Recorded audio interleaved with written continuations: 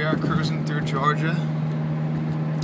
So I figured we would do a little pull in the Civi in honor of the one and only Logan Newell.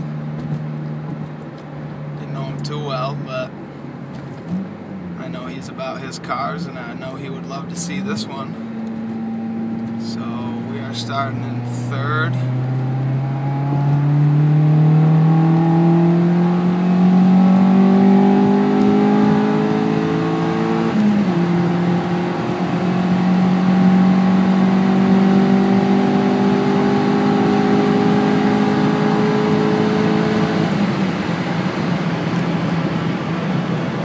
Bumpy ride through Georgia for us.